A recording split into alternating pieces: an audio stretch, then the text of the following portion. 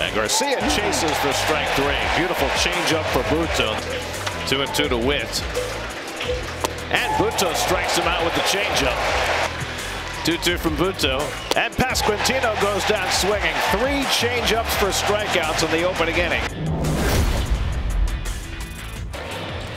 Curveball line to left field. Tagging at third is Marte. Coming in Melendez. Here comes Marte. Here's Melendez is throwing a hop, and he is out. Oh.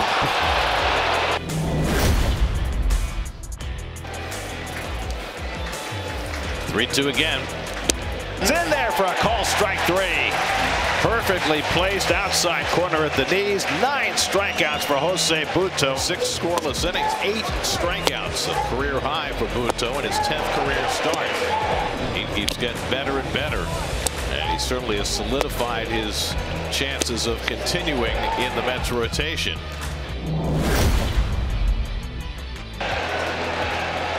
And it's a weak ground ball. He might beat this out. Garcia can't make the play,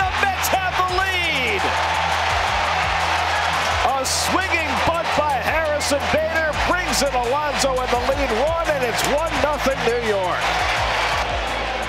And he walked him. And that'll bring in McNeil with the second run of the inning. It's 2 0.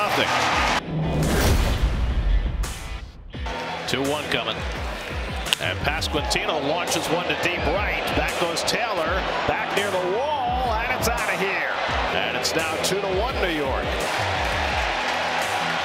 And Fermin, popped it up. Alonso tracking it. He's calling. And he makes the catch. And the ball game is over. A pitcher's duel on a day that Doc Gooden's number went up to the rafters. Jose Butto was brilliant.